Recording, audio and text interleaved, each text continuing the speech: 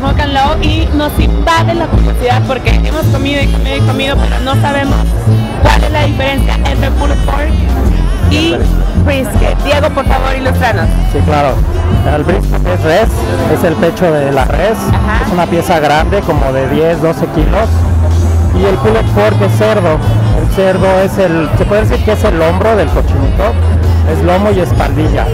La diferencia es que uno lo preparamos eh, con, va como rebanado, estilo roast beef, y el pulled pork es deshebrado.